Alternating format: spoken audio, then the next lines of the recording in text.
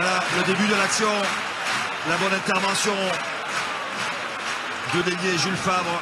Et puis derrière un peu plus, voilà, cette montée en pointe un peu désespérée de Pierre Pagès. Et puis les cannes de Vincent Rates.